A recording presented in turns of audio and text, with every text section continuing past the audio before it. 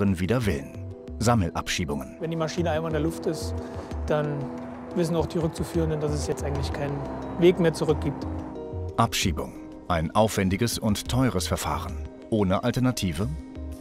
Abgelehnte Asylbewerber kommen zu uns, um eine Abschiebung zu vermeiden. 26.000 Asylbewerber müssen Deutschland sofort verlassen. Was erwartet sie zu Hause?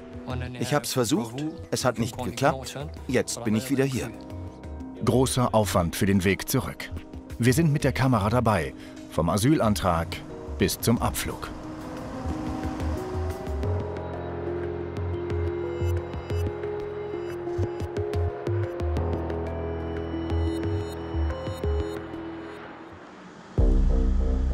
Die Justizvollzugsanstalt Dresden an einem Apriltag morgens gegen sechs. Die meisten der Häftlinge schlafen noch. Einer nicht. Ein Mann aus Tunesien hat kurz zuvor die Nachricht bekommen, er wird abgeschoben. In einem Sammeltransport zurück nach Tunis, Nordafrika. Sie müssen sich vorstellen, die Gefangenen werden von der Situation in der Regel überrascht. Wir wissen oft nicht, welche Erfahrungen die Gefangenen in ihren Heimatländern gemacht haben. Deswegen fallen natürlich die Reaktionen der Gefangenen in einer Situation, wo sie über eine geplante Abschiebung informiert werden, sehr unterschiedlich aus. Mhm. Sie haben den jetzt gerade, glaube ich, schon informiert. Wie hat er reagiert? Der war sehr ruhig. Aber äh, wir reden hier auch von einem Gefangenen, der bislang nicht negativ aufgefallen ist in der Anstalt. Der Mann verhält sich weiter ruhig. Viel anderes bleibt ihm auch nicht übrig. Über die Schweiz nach Deutschland gelangt, hat Samir M. jahrelang in der Illegalität gelebt, ist ohne Arbeitserlaubnis schließlich wegen Drogendelikten für zwei Jahre verurteilt worden. Mit sehr wenig Gepäck geht es für ihn nach einem Jahr Haft zurück in seine Heimat. Aber heute nicht für ihn allein. Es werden mehrere Personen gleichzeitig abgeschoben. Das heißt, auf der einen Seite holen wir mögliche Strafgefangene, die abgeschoben werden aus den Justizvollzugsanstalten bei uns im Land. Auf der anderen Seite natürlich auch sogenannte Flächenfälle zusammen. Das heißt Personen, die sich in Erstaufnahmen befinden oder die eben auch schon in ihren Wohnungen sind, die aber eben abschiebebereit sind, sozusagen wo alle Papiere zusammengetragen worden sind, wo die Ausreisepflicht auch besteht. Die werden dann zusammengetragen von der Landespolizei zum entsprechenden Flughafen gebracht, dort der Bundespolizei übergeben und dann äh, beginnt äh, die Befüllung des Flugzeugs mit den Personen. Kurz darauf am Flughafen. Hier im Abschiebeterminal werden Samir M. und die anderen Tunesier erwartet. Gerade treffen die ersten Bundespolizisten ein. Wir gehen jetzt noch mal die einzelnen Bereiche ab, gucken noch mal, wo wir irgendwelche Sachen finden, die hier nicht hingehören. Hauptkommissar Lars Rose leitet heute die Aktion. Sein Nachname ist geändert, der Job umstritten. Abzuschiebende ins Zielland bringen, möglichst unverletzt. Türen sind Gefahrenquellen. Man könnte sich an ihnen quetschen. Die müssen weg, die müssen weg. Also die, die Sanitärbereiche werden ja durch, durch eine Reinigungsfirma werden die ja sauber gehalten. Und da ist es wichtig, dass wir die nochmal durchsuchen. Möglicherweise werden Reinigungsmittel vergessen, werden hier abgestellt oder irgendwelche anderen scharfen Gegenstände. Und deshalb werden die Kollegen hier das nochmal alles durchsuchen, gucken, dass nichts da ist, was im Endeffekt der Rückzuführende dann, wenn er mal auf so einen Toilettengang geht, hier irgendwas zu sich nehmen kann oder sich vielleicht selber verletzen. Deswegen sind noch die Spiegel hier alle abgehangen, dass nicht die Möglichkeit besteht, so einen Spiegel zu zerschlagen und sich dann hier zu schneiden. Abzuschiebende, die sich selbst verletzen. Sie hoffen, in letzter Minute im Krankenhaus zu landen, statt im Flieger. Verschluckte Batterien, gequetschte Gliedmaßen, tiefe Schnitte. Rose hat schon viel erlebt. Also die werden teilweise schon mit Rasierklingen hier angeliefert, die sie irgendwo in, in der JVA zum Beispiel sich organisiert haben, beziehungsweise selbst gebastelte Sachen von Plastikstäbchen über kleine Holzsplitter bis hin zu Scherben, die genutzt werden, um sich selber zu verletzen. Und die sie dann irgendwo verstecken? Die sie entweder in ihren Sachen oder selbst am Körper verstecken, ja. Die Kollegen kontrollieren gründlich. Auch dort, wo später ein Arzt Körperöffnungen durchsuchen soll. Was? Ja.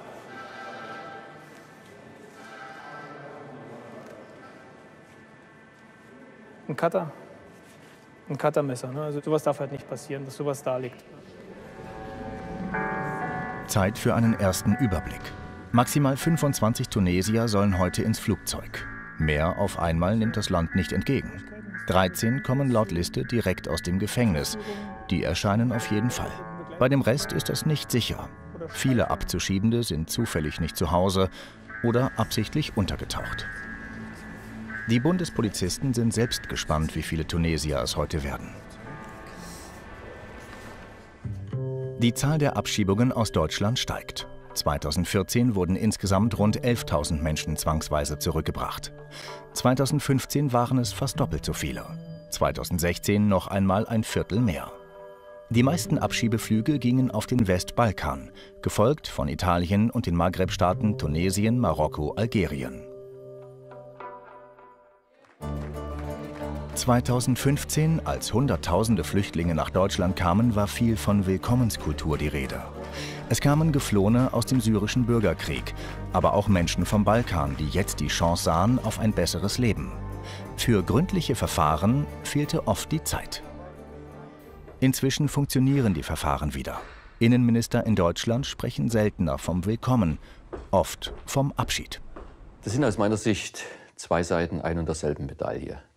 Denn wenn Menschen zu uns kommen, Antrag auf Asyl stellen, als Flüchtling anerkannt werden wollen, dann durchlaufen sie ein rechtsstaatliches Verfahren und im Ergebnis steht eine Entscheidung. Entweder sie haben Anspruch und bleiben hier oder sie haben keinen Anspruch und müssen gehen. Und wer das nicht freiwillig macht, der muss dann mit staatlichen Zwangsmaßnahmen rechnen. Und vor dem Hintergrund sehe ich da gar nicht den Widerspruch, sondern gehört beides für mich zu einem Rechtsstaat. Ist die Politik ganz wertneutral? Flüchtlingsaktivisten wie die von Pro Asyl sehen das anders. Etwa wenn es um Afghanistan geht. Der Bundesinnenminister hat es im November 2015 verkündet, es muss ein deutliches Signal her, dass man will, dass Afghanen nicht mehr fliehen. Und in Folge sinkt die Anerkennungsquote dramatisch, die Ablehnungsquote steigt. Macht die Politik also Druck? Auch auf die Asylentscheider? Und wer ist das eigentlich?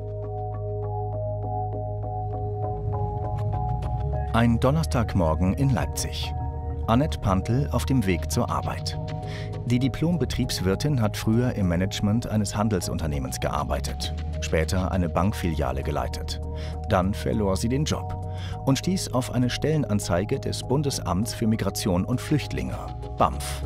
Damals, Ende 2015, als plötzlich Hunderttausende Geflüchtete nach Deutschland kamen.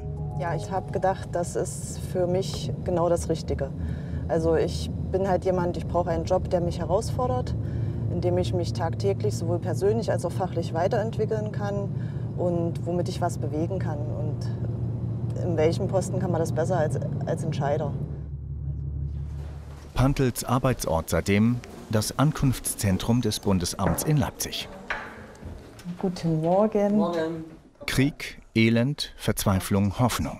Pantel und ihre Kollegen sollen aus all dem eines machen, einen Verwaltungsakt. Ja, was hast du heute auf dem Programm stehen?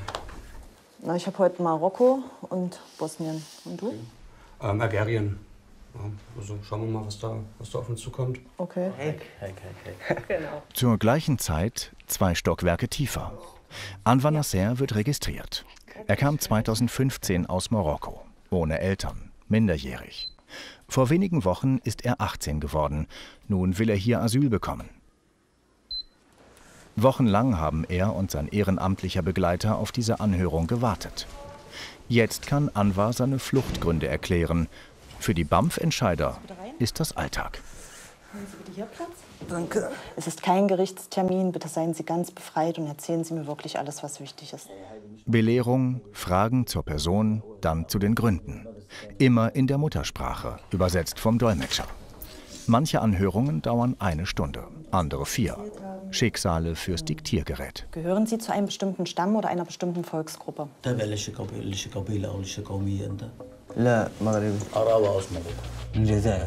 Ich bin Araber aus Algerien. Ich bin Romni. Wirtschaftslage war sehr schlecht. Die Wirtschaftslage war sehr schlecht, Punkt. Ich, immer, ich schlief immer draußen auf der Straße. Ich hatte Probleme in der Schule, Komma. Ich wurde immer in der Schule geschlagen, Punkt. Mein Mann bekam Probleme mit lokalen Behörden und wurde häufig geschlagen, Punkt. Meine Mutter hatte Krebs Meine Mutter hatte Krebs. Musste jeden Tag im Krankenhaus. Eines Tages versuchte man dann auch, meine Tochter zu entführen. Dann habe ich mich entschieden, Algerien zu verlassen und woanders ein Leben aufzubauen. In Deutschland zum Beispiel. In Deutschland zum Beispiel. Zwischen Januar 2016 und Ende April 2017 entschieden Pantel und ihre Kollegen bundesweit über knapp eine Million Asylanträge. 58 Prozent davon wurden angenommen. Ein Teil hatte sich anders erledigt, zum Beispiel weil Anträge zurückgezogen wurden oder an andere Länder weitergereicht. Abgelehnt hat das Amt in dieser Zeit 280.000 Asylanträge. Wem helfen Sie? Helfen Sie Deutschland oder helfen Sie den Asylbewerbern? Beiden. Also ich arbeite halt für die Bundesregierung, ganz klar. Und mein Auftrag ist es quasi, äh, die horrende Zahl der Asylanträge mit abzuarbeiten. Und äh, auf der anderen Seite bin ich für die Antragsteller da, für jeden Einzelnen, der hier zu uns kommt, zu mir zur Anhörung, äh, um ihm die Möglichkeit zu geben, sich zu äußern und dann irgendwann mal eine Gewissheit zu bekommen, wie es weitergeht. Ich würde ihn dann gerne noch. Anwar Nasser wird mit ein paar Informationsunterlagen erstmal entlassen. Annette Pantel wird sein Anhörungsprotokoll später noch einmal durchlesen, wichtige Fakten gegenchecken und prüfen, ob das alles reicht für einen Schutzstatus. Dann gehen wir. Okay. Unterschreiben Sie lieber eine, eine Ablehnung oder lieber eine Anerkennung? Na, von lieber kann man ja wieder nicht reden. Also ähm, ich unterschreibe halt das, was der Fall hergibt. Und wenn das Gesetz sagt, das ist eine Ablehnung, dann ähm, ist es so. Und wenn es eine Anerkennung ist, ähm, ist es eine Anerkennung. Also ich bin dafür da, jeden Antrag wirklich äh, rechtlich zu prüfen und zu entscheiden. Und äh, wie da der politische Wind gerade weht, das ist für mich irrelevant. Pantel und ihre Kollegen bemühen sich um Sorgfalt. Und doch gab es auch Fehler. Vor allem in der Zeit des großen Flüchtlingsandrang. Einer der krassesten, der Fall Franco A., ein rechtsradikaler Bundeswehroffizier, der sich 2015 bei seiner Anhörung als Syrer ausgab und tatsächlich einen Schutzstatus bekam.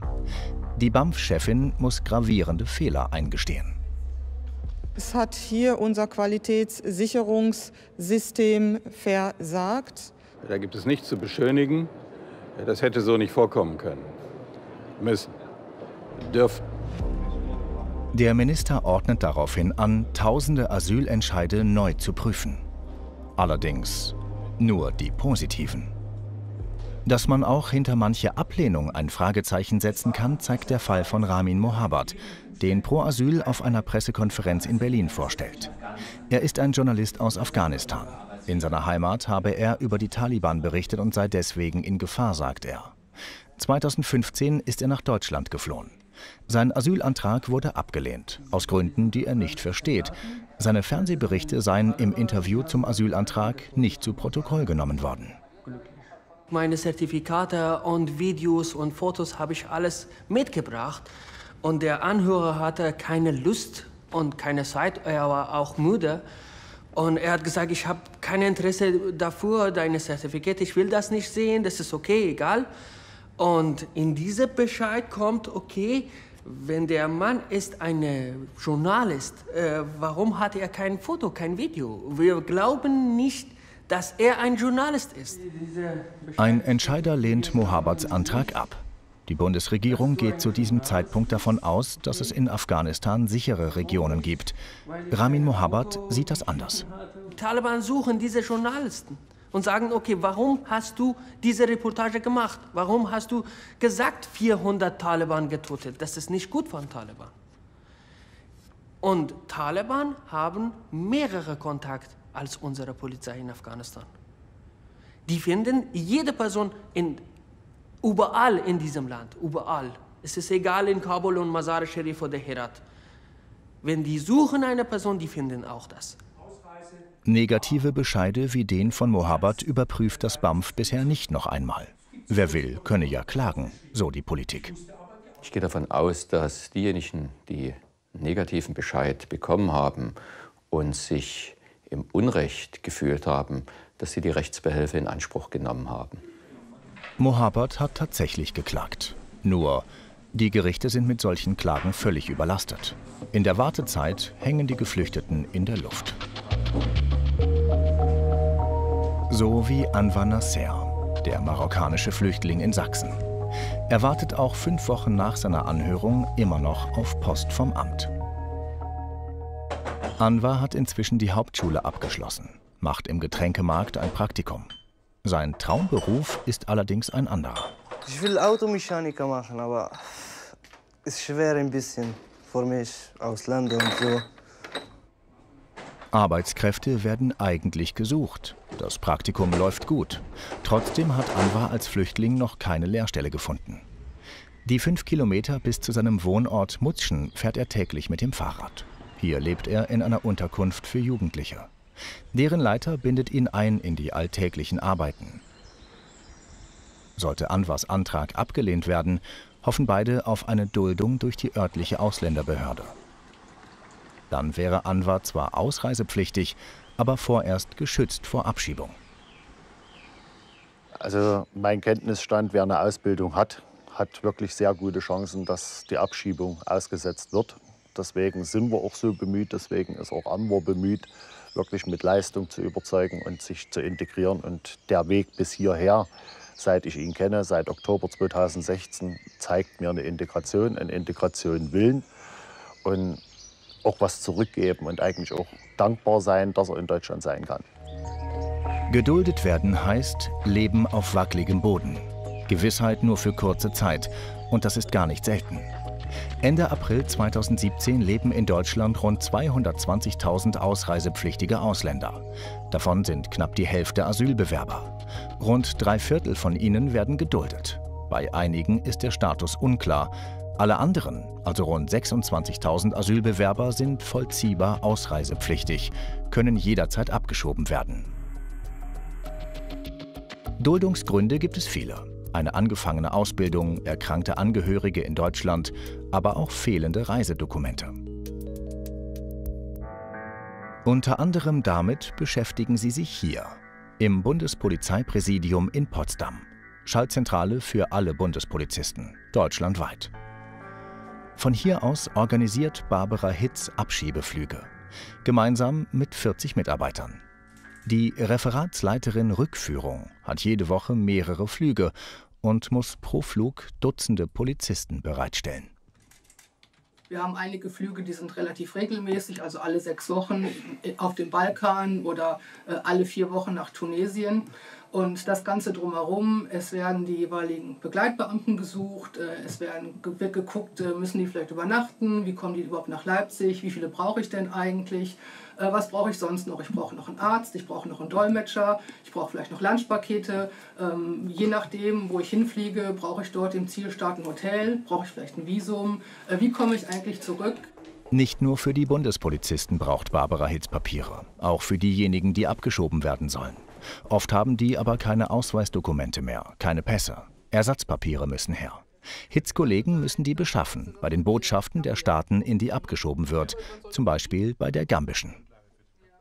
Also hier sieht man ja, dass, dass die Person, für, für die jetzt ein Passersatzpapier ausgestellt worden ist, ähm, schon gambische Dokumente hatte. Ähm, das macht es dann natürlich der, der Botschaft äh, relativ einfach, äh, festzustellen, okay, da, da lag schon mal was vor, vielleicht haben sie das auch in Gambia nochmal äh, nachvollzogen. Und, und statt dem jetzt einen richtigen Pass auszustellen, das kann er dann ja in Gambia nachholen, haben sie eben ein Passersatzpapier aus, äh, so ausgestellt, das, ähm, das dann eben für, für die Reise äh, in, in den, ins in den Zielstaat äh, gültig ist. Es gibt Staaten, bei denen funktioniert das ganz, ganz äh, reibungslos. Ähm, andere Staaten, äh, da braucht man etwas mehr, da, da muss man dicke Bretter bohren.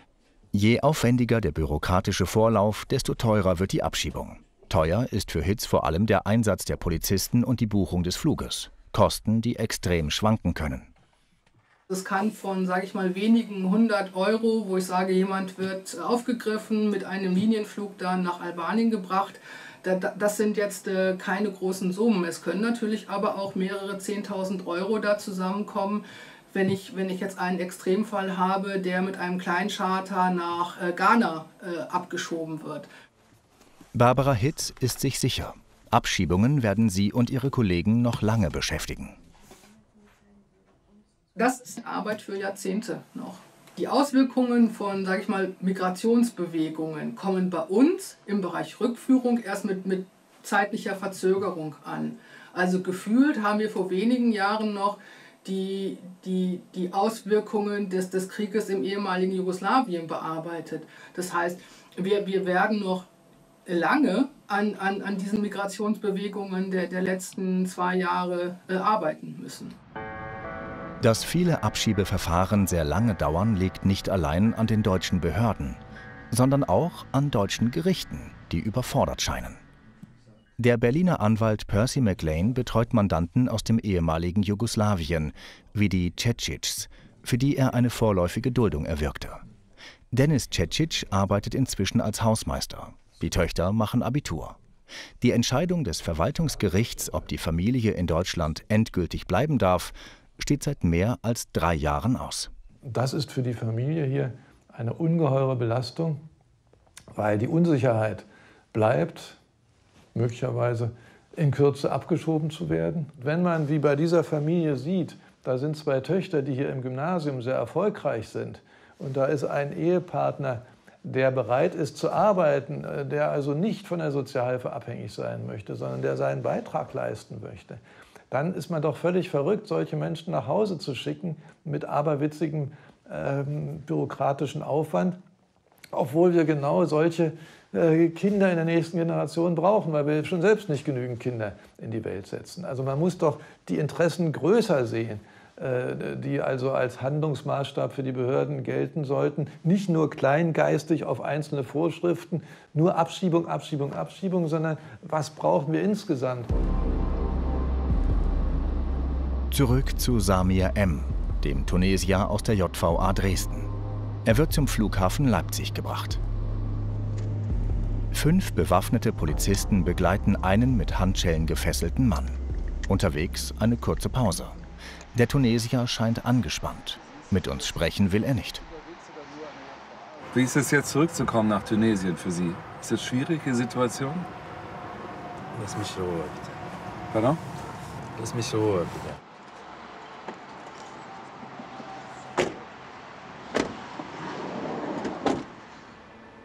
Zur gleichen Zeit am Abschiebeterminal am Leipziger Flughafen. Einsatzleiter Rose und seine Kollegen bereiten den Bodycuff vor, ein Fesselungssystem. Für den Fall, dass ein Abzuschiebender renitent wird, wie sie sagen. Es handelt sich um einen Hüftgurt, der demjenigen um die Hüfte gelegt wird, am Rücken fixiert. Und in den Taschen hier befinden sich Handfixierungsteile, die derjenige dann an den Handgelenken befestigt bekommt. Und wenn derjenige sich, sage ich mal, noch einigermaßen kooperativ verhält, kann man diese Handfixierungsteile lang tragen. Wenn derjenige jedoch unkooperativ ist ne, und aggressiv, haben die Kollegen die Möglichkeit, diese Handfixierungsteile kurz zu ziehen an diesen Schlaufen. Bedeutet dann, die Hände sind bei ihm hier an der Hüfte fixiert.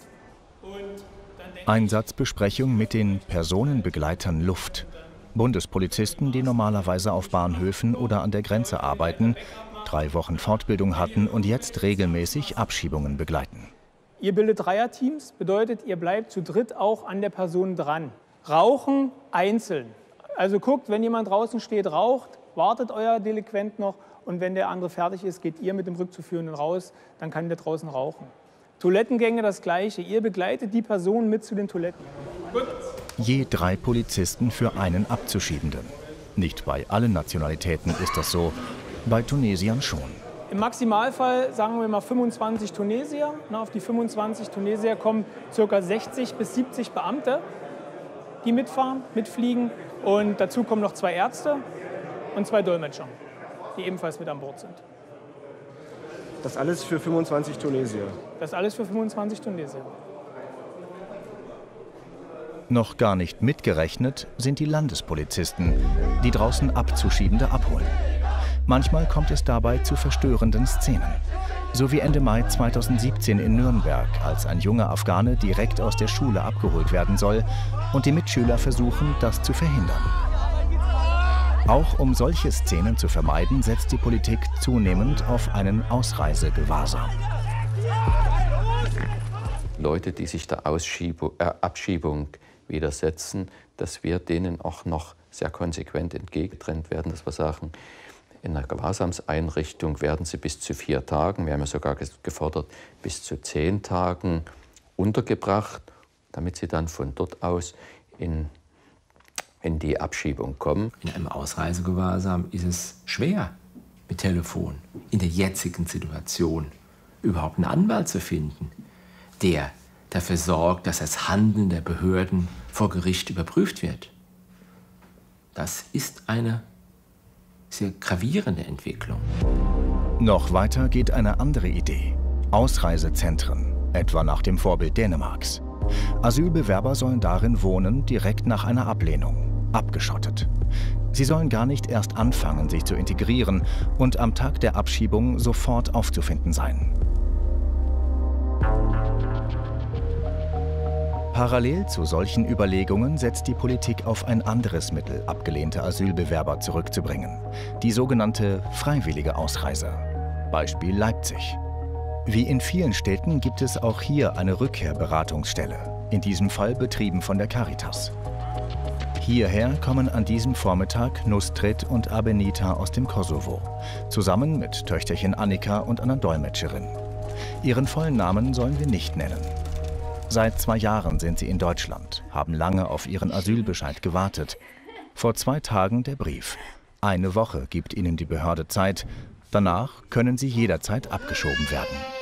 Darauf wollen sie es nicht ankommen lassen.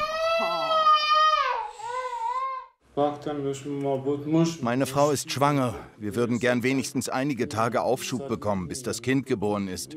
Mehr wollen wir gar nicht. Vielleicht können Sie helfen, eine Wohnung zu organisieren. Ich weiß gar nicht, wo wir dorthin sollen. Wir wollten doch beide hier arbeiten, damit wir nicht auf staatliche Hilfe angewiesen sind. Manche Flüchtlinge wollen zurück, obwohl sie noch gar nicht abgelehnt wurden. Etwa weil sie erst in Deutschland erfahren haben, dass sie die Familie nicht nachholen dürfen oder nicht wie erhofft Arbeit finden. Die meisten aber treibt die Angst. Abgelehnte Asylbewerber kommen zu uns, um eine Abschiebung zu vermeiden. Ihr Ziel ist es nicht, Deutschland schnellstmöglich zu verlassen, sondern sie wollen nicht, dass nachts die Polizei bei ihnen klingelt. Zumeist haben sie auch noch kleine Kinder und das ist einfach das geringere Übel, eine freiwillige Ausreise anzutreten, die ja in Sicherheit passieren kann und die im besten Fall in Würde passieren kann. Die Bundesregierung drängt auf freiwillige Ausreise, auch aus Kostengründen. Eine Abschiebung kostet den Staat im Schnitt 1500 Euro. Eine freiwillige Ausreise weniger als die Hälfte. Deshalb wirbt der Staat. Freiwillige Rückkehrer bekommen die Flugtickets bezahlt und je nach Herkunftsland auch Bargeld für den Neustart. Viele nehmen das in Anspruch. Zu den 25.000 abgeschobenen Asylbewerbern kamen 2016 mehr als doppelt so viele, die freiwillig ausgereist sind, gefördert von der Bundesrepublik. Dabei entscheidet jedes Bundesland für sich, wie sehr es freiwillige Ausreisen unterstützt. Manche geben auch Rückkehrern auf den Balkan kleine Bargeldhilfen. Sachsen nicht. Die Beraterin hat aber eine andere Idee. Also es gibt ein Programm im Kosovo, das heißt URA 2. Das ist von der deutschen Regierung, wird das bezahlt und durchgeführt. Dort können wir euch vorher anmelden und sagen, dass ihr kommt und dass ihr auch zwei Kleinkinder habt. Und die sollten euch dann eigentlich helfen und euch auch eine Wohnung besorgen. Und die eine Woche bis zur Abschiebung? Die Beraterin beruhigt. Wer sich anmeldet zur freiwilligen Ausreise, bekommt erfahrungsgemäß etwas Aufschub und dann beginnt der Mutterschutz. Aber spätestens nach der Geburt müssen sie gehen. Definitiv. Was erwartet Rückkehrer im Kosovo? Wie viel Hilfe bekommen sie hier wirklich? Das Land hat 1,8 Millionen Einwohner und eine Arbeitslosenquote von 29 Prozent. Deutschland ist für viele hier ein Sehnsuchtsort. Jeder kennt mindestens einen, der schon einmal in Germania war, etwa während des Kosovo-Krieges Ende der 90er. Viele von denen, die abgeschoben wurden oder freiwillig zurückkommen, landen tatsächlich hier, URA, albanisch die Brücke. Ein Büro, aufgebaut und betrieben von der deutschen Regierung.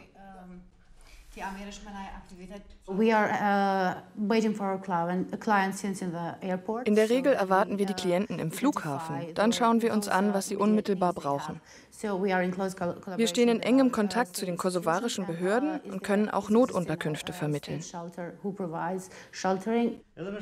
Doch meist geht es um mehr als nur ein Dach. Dieses Ehepaar ist vor fünf Tagen angekommen. Zwei Jahre in Baden-Württemberg, geplatzte Träume. Jetzt wollen sie wieder Fuß fassen im Kosovo. Der Mann auf dem Bau, die Frau im Reinigungsgewerbe. Mehr als 10.000 Menschen sind 2016 offiziell ins Kosovo zurückgekehrt, abgeschoben oder freiwillig. Rund die Hälfte von ihnen ließ sich im URA beraten.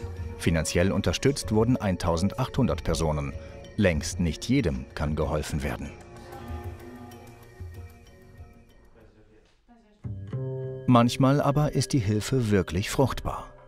Zu einem solchen Fall macht sich Morinas Kollege auf den Weg, Richtung serbisches Grenzgebiet. Der Klient verlegt hier gerade Fliesen in einem Privathaus. 2015 war Paitim Tahiri mit Frau und Kind nach Deutschland ausgewandert. Illegal. Um eine noch bessere Stellung zu finden, wie er sagt. Nur, er durfte gar nicht arbeiten als Asylbewerber trotz Handwerkermangel in Deutschland. Nach neun Monaten ging er freiwillig zurück und bekam hier Unterstützung von den Deutschen. Ich habe elektrische Geräte bekommen, einen Stemmhammer, Werkzeuge, um lange Treppen zu fließen, was ich früher nicht konnte, und einige Bohrmaschinen.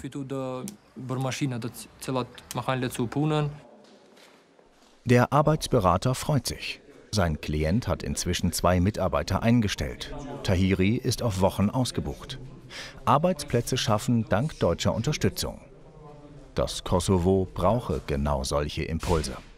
Leute gehen nach Deutschland und nach äh, auch äh, andere, andere europäische Staaten, lernen da die neue, neue Kulturen, äh, lernen da auch neue Arbeitsaspekte, bringen äh, neue Sprachkenntnisse mit, auch die Kinder. Das ist für uns eine Bereicherung weil dadurch auch viele auch neue Wege sehen, neue Perspektiven auch sehen und das äh, finde ich persönlich als eine Bereicherung. Aus Ihrer heutigen Sicht, war das, war das ein Fehler, nach Deutschland zu gehen? Nein, das war kein Fehler, sondern eine Lehre. Wenn es legal geht, dann ist es in Ordnung. Wenn es illegal ist, ist man dort nicht willkommen. Ich habe es mal versucht. Es hat nicht geklappt. Jetzt bin ich wieder hier. Paitim Tahiri, der Fliesenleger, ein Beispiel für gelungene Rückkehr. Hilfsprogramme wie dieses will die Bundesregierung ausbauen, auch in anderen Staaten. Also alles gut im Kosovo? Kein echter Grund hier wegzugehen? Ein bisschen komplizierter ist es schon. In einem Grenzdorf nahe Serbien lebt Albana Ademi mit ihrem Mann, seiner Mutter und drei Kindern im Haus ihres Schwagers. Albana ist in Deutschland geboren, wie viele Kosovaren. Ihre Eltern hatten dort während des Balkankrieges Schutz gefunden.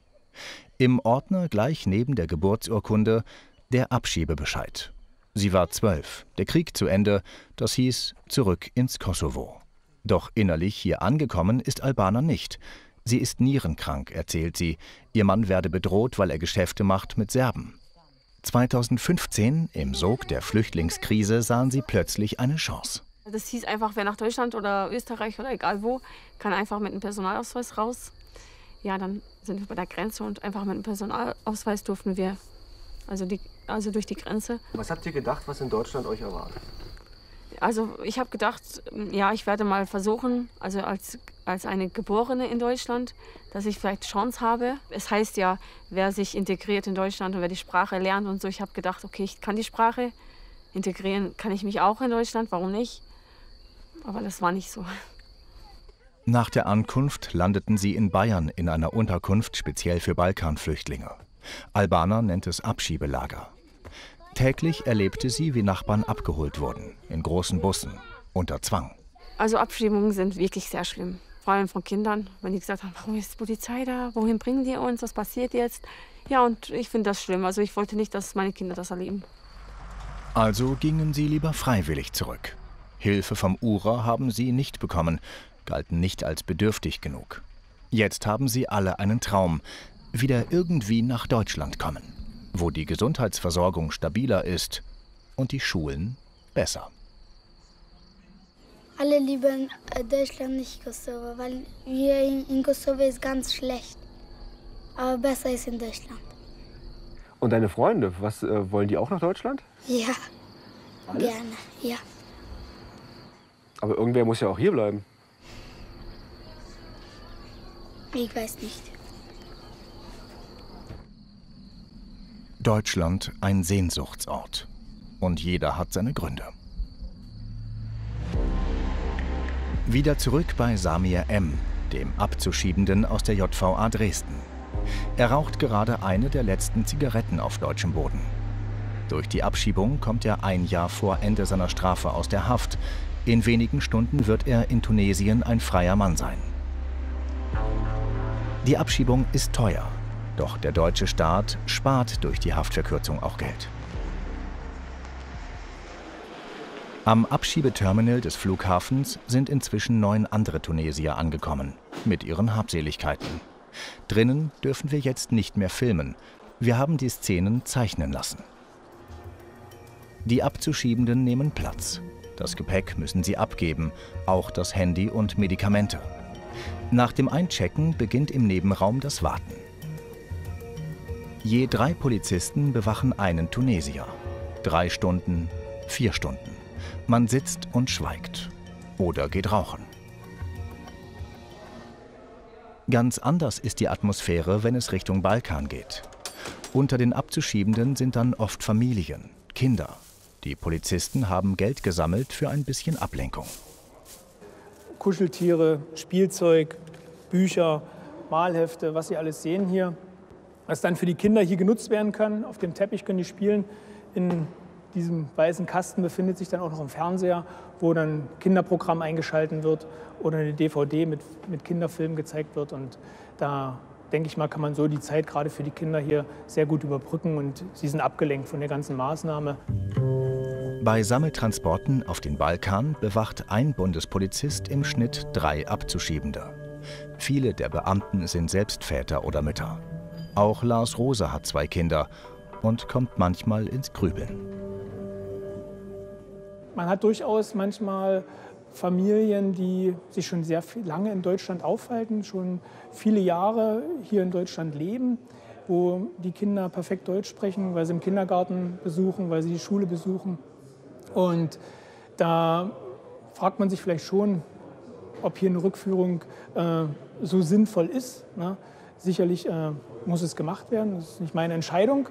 Äh, aber man hat halt für diese Kinder gerade, wo man dann schon denkt, ihre Zukunft in Deutschland wäre sicherlich eine bessere als vielleicht in ihrem Heimatland. Und da hat man dann schon teilweise manchmal gemischte Gefühle. Schließlich kommt auch Samir Ems Begleitkommando an. Auch für ihn beginnt sie jetzt endgültig. Die unfreiwillige Reise in das Land, aus dem er kam.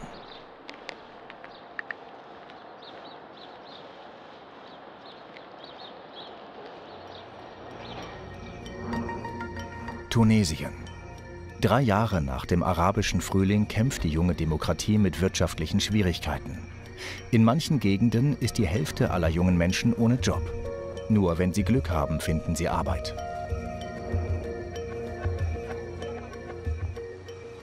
Wie in dieser Textilfabrik in Sus.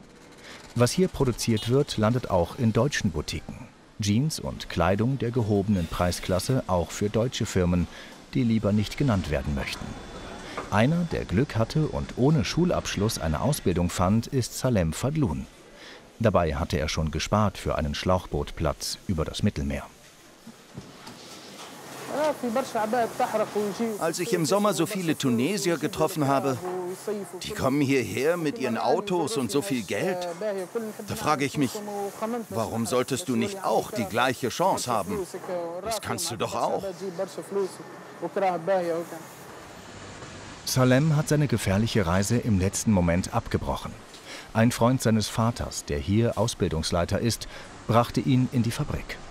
Das Problem, das Salem hat, ist keineswegs einzigartig.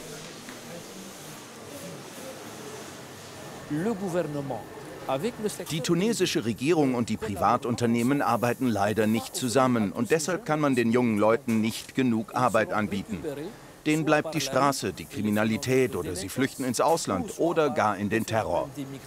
Wir als Unternehmen sind die Ersten in einem nationalen Programm, um diese jungen Menschen hier in den Betrieb zu holen und hier zu integrieren. Die tunesische Bevölkerung ist, wie in allen Maghreb-Staaten, jung. 28 Jahre im Schnitt. Ein wirtschaftliches Potenzial, an dem auch Unternehmen interessiert sind in Deutschland wie Tunesien. Seit dem Frühjahr 2017 gibt es in Tunis ein deutsch-tunesisches Beratungszentrum. Hier wird, nach dem Vorbild der Beratungsstelle in Pristina, versucht, Brücken zu schlagen zwischen den beiden Arbeitsmärkten. Auch für Rückkehrer aus der Bundesrepublik. Die Beratung bieten sie gemeinsam an. Die tunesische Arbeitsagentur und die Deutsche Gesellschaft für internationale Zusammenarbeit. Wir beraten auch zu Möglichkeiten, nach äh, Deutschland zu kommen. Es gibt sehr viel gut ausgebildete Tunesier, zum Beispiel im IT-Sektor, zum Beispiel im Hotel- und Gaststättengewerbe, was bei uns absolute Mangelberufe sind. Noch steckt die Beratung in den Anfängen. Doch angesichts der eher geringen Zahl der Tunesier, die nach Deutschland flüchten, scheinen die Chancen gut, die Zuwanderung eines Tages besser steuern zu können. Noch einmal zum Abschiebeterminal am Leipziger Flughafen. Für den Sammeltransport nach Tunesien wurden 25 Abzuschiebende erwartet. Angekommen sind heute 17. 13 davon direkt aus dem Gefängnis. Auch der junge Tunesier mit dem Fesselgurt. Im Rahmen der Zuführung hat der gute Herr geäußert, dass er nicht fliegen möchte, hat auch versucht, im Fahrzeug sich selbst schon zu verletzen. Das Ganze hat sich dann auch während der Durchsuchung so fortgesetzt, dass wir gesagt haben, wir werden ihn jetzt fesseln, einfach zu seinem Schutz. Die Kollegen sprechen mit ihm, wirken jetzt im Rahmen der Kommunikation auf ihn ein, sodass er sich zunächst mal beruhigen kann und wir ihn nachher dann auch gut in den Flieger verbringen können. Die Atmosphäre sonst im Warteraum angespannt, doch ruhig. Einsatzleiter Rose hat ein bisschen Zeit für den Blick aufs große Ganze die Welt ist nicht gerecht. Ne? Und das, man hat natürlich dieses Privileg der Geburt. Ne? Wir haben das Glück, wir sind in Deutschland geboren, wir werden in Deutschland groß. Äh, hier ist alles organisiert, hier passt das, ne? die Strukturen passen. Ähm, andere werden halt in Schwarzafrika geboren. Das ist nun mal so. Ne? Und äh, es wird keine Gerechtigkeit auf der ganzen Welt geben. Und nur dadurch, dass die Leute zu uns nach Deutschland kommen, werden sie auch hier keine Gerechtigkeit erfahren. Das ist nun mal so. Und da muss dementsprechend auch jeder selber seinen Weg, sein Glück ne, suchen Ne? Bei manchen klappt es, bei manchen klappt es nicht. Kurz vor zwölf. Der Flieger ist bereit.